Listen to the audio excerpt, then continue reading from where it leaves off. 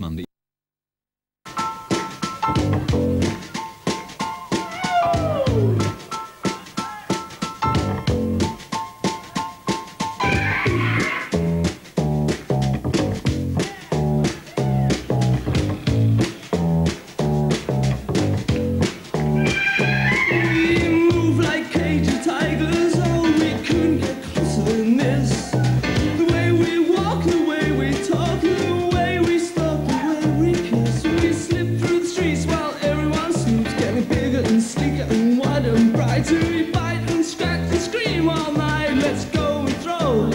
things we know.